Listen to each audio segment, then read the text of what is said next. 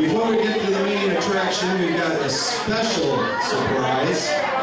We have the Continental High Precision Marching Show Band. Let's go!